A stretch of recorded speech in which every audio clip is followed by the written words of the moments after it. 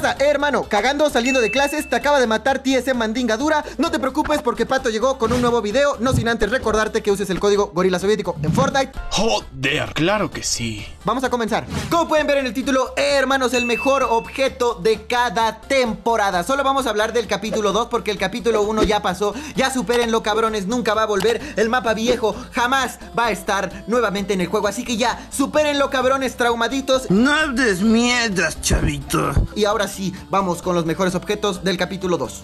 En la temporada número 1, eh, hermanos, un objeto que hasta el día de hoy sigue siendo una verdadera bomba. Les estoy hablando de los pescaditos con cara de pito. Así es, estos pescadetes que cuando salieron, la verdad, estaban más rotos que el culo de alguien que lo tiene muy roto.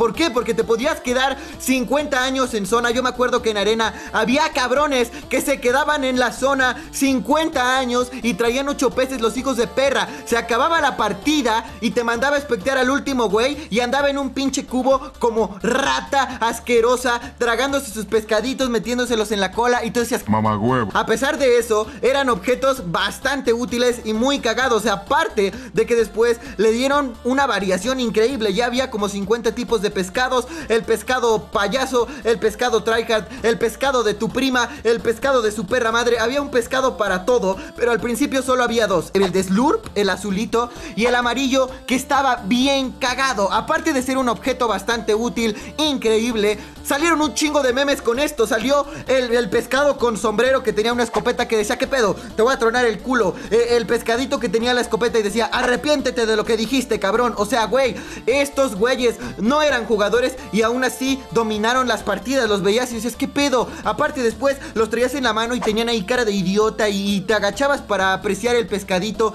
Tienen un diseño increíble. Salieron un chingo de memes a partir de esto. Está de huevos. Y si no te gustan, de seguro tú eres de los cabrones que aterriza en Castillo Coral. Chale, me humilló.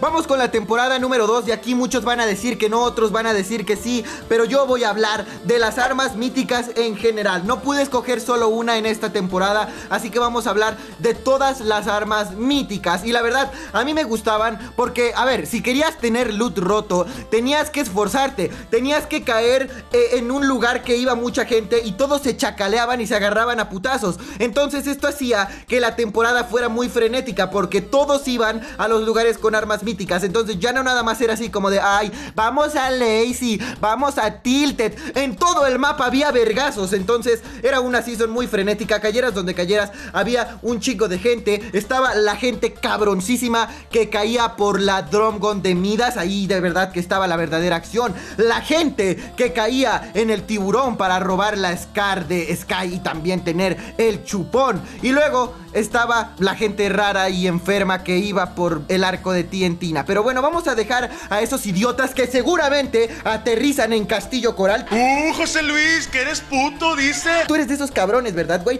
Tú eres de los que decía, ay, no manches, el arco de Tientina está bien verga porque se parece al anterior. Hermano, no hables mierdas. Claro que no se parecía al anterior. Este estaba todo nerfeado, todo culero, se le acababan las balas y el otro estaba perro, hacía daño de área, estaba ahí, dabas tus pinches arcasos, eras Kokai, le, le, revolvías la caca con la explosión al que le pegaras y, y, después salió esta versión hecha pija. Todas las armas míticas estaban chingonas, menos esta madre que creo que no es la favorita de nadie. Es más, el lugar donde estaban la fábrica de Pemex, esa toda culera que estaba contaminando el mar de Slurp, así que los pinches pescados salían con tres pitos por culpa del petróleo, estaba horrible. No solo el arma mítica estaba culera, todo el lugar estaba horrible, pero fuera de eso, las otras armas míticas sí estaban chingonas, tenías que esforzarte, caer en un lugar con gente, partirte la madre para obtener esa recompensa, para que después te matara un sniper, pero bueno, había dinamismo, estaban chingonas, sí estaban rotas, pero aún así valía la pena el esfuerzo de caer en un lugar, matar a todos y poder conseguir tu premio.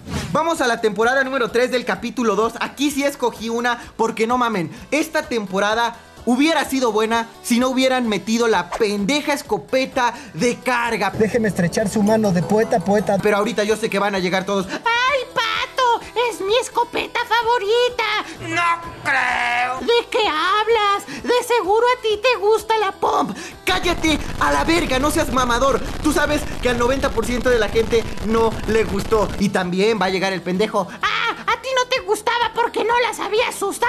Claro que la sabía usar, me sacaba unos clipazos, así que vete a la verga. Eh, pero bueno, les voy a hablar del lanzagranadas de choque. Para mí esta temporada fue el mejor objeto porque estaba súper divertido. Podías rushear a todos, podías rotar bien a gusto en el mapa. El objeto era divertido, estaba roto, claro que sí, en torneos era una mentada de madre porque podías tirar a los que estaban de high y podías eh, incluso mandarlos a la zona. Era un objeto que estaba pendejamente roto. Rompe madres, cabrón. Pero estaba divertido, o sea, fuera de que estuviera bastante chetado, estaba bastante divertido y a mí me gustaba mucho. En los torneos tal vez sí lo debieron de haber quitado, en arena fue un error que estuviera esa madre, pero pasar un rato divertido con los compas, con el lanzagranadas de choque, estaba bastante cagado, me gustaba mucho. Aparte veías al pana Miguel, tenías que ir a ir con el pana Miguel para quitárselo, decías qué pedo, pinche gato pendejo, le dabas una cachetada y tenías tu lanzagranadas y también era una de las locaciones donde medio mundo caía, estaba bastante frenético. Las otras armas míticas eh, no estaban malas. Soy fan de la UG, pero esta madre era más divertida.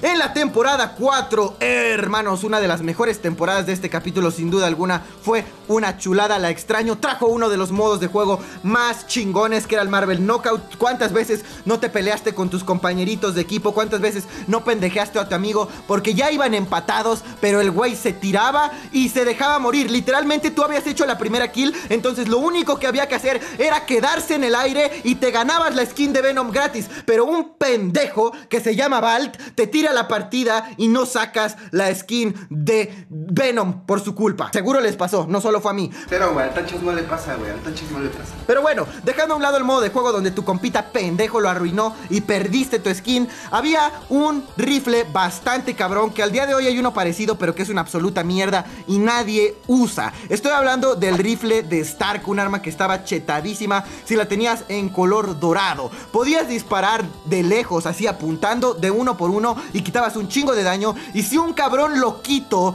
porque en esta temporada recordemos que estaban las camas elásticas y estaban eh, los bouncers y todo eso. Si un cabrón te tiraba uno y atravesaba tu cubito, podías entrar en pánico y con tu rifle de Stark revolverle toda la caca. Vámonos a la verga de aquí, pues. A mi casa no me la venga a hacer de pedo. Apretando sin apuntar, ya que eso hacía que el, eh, que el fusil fuera semiautomático y no disparara de uno en uno. Y tenía un chingo de daño. La verdad, era una de las cosas más increíbles. No sé por qué con el rifle Alien lo hicieron mierda y ahora es una basura. Pero sin duda alguna, el rifle de Stark fue de los mejores objetos de esta temporada. Y ahora voy a escoger también un superpoder, no nada más un arma normal. Y voy a escoger los poderes de Doom. Yo sé que era el modo de juego de Marvel Knockout eran una mierda porque era el poder como más impreciso del mundo. Pero en partidas normales, eh, pues estaba chingón. Porque aparte de que hacía daño, podías volar. La bola sí era una mierda. Pero los guantes, si tú le disparabas un orbe con los guantes a un charquito para pescar, te daba todos los peces. No tenías que estar pescando como idiota y uno por uno con tu cañita así.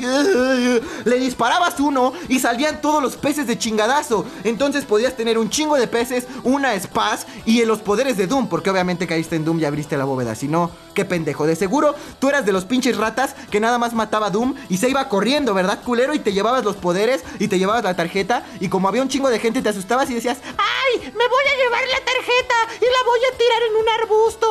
Si no tengo la bóveda yo, no la va a tener nadie. Si tú eras de esos, métete un dedo en la cola, hermano. En la temporada número 5, la verdad, una de las peores temporadas, en mi opinión, a mí la verdad no me gustó para nada. Tuvimos la escopeta vaquera. Pasamos de tener un meta de mierda donde las escopetas eran una basura a tener una escopeta bastante decente, bastante buena, que incluso es la favorita de mucha gente al día de hoy. Entonces, la escopeta vaquera sin duda alguna llegó a salvar la temporada y es una escopeta que a la gente le encanta, incluso temporadas después de que saliera. También vamos a hablar de la mecánica de meterte a la arena y rotar, eso estaba bastante divertido, te podías esconder y sacarte unos clips muy cagados, así que esos dos objetos, bueno, uno es dinámica y el otro es objeto en la temporada 5. ¡Alto ahí, loca! Soy yo, el pato de los saludos. Así que no continúes sin mandarle los saludos a los siguientes cracks que usan el código gorila soviético. Yes FT, Cirilo, Jimbo Hacker, Skriley y Christopher.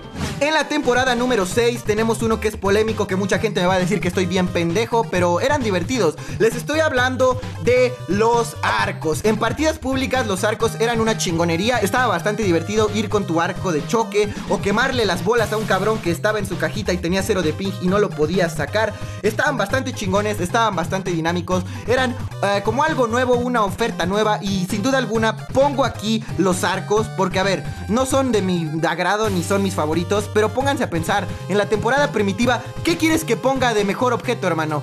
La escopeta mecánica, ¿quieres que ponga cuando te confundiste con el fusil de asalto primitivo y pensaste que era una escopeta? No, hermano. En realidad, la mayoría de los objetos de esta season fueron una mierda, pero el arco fue como que de lo que más gustó. En el lado competitivo sí fue una mamada. Recuerdo ver clips donde con el arco de fuego mataban 30 personas en una scream, lo cual era una mentada de madre, pero bueno. No me ayudó en nada el juego para poner algo bueno, bueno en esta temporada. Yo sé que la mayoría de las cosas fueron una mierda, pero bueno, en la temporada número 7, no mames, tenemos a la cosa más chingona del universo. ¡Me va llover! Tenemos a la vaquita, cabrón. Tenemos a la vaquita, güey. La puedes traer en la espalda y se ve toda pana. Si entras en pánico, puedes irte rebotando a la chingada. Así puedes agarrar y decir, me vas a matar, me voy rebotando a chingar a mi madre de aquí, güey. Está cagadísima la vaquita. Es de las mejores cosas que hemos visto en muchas temporadas. Sin duda alguna es mi objeto favorito hasta el momento. Está bastante cagado la vaquita en la temporada 7.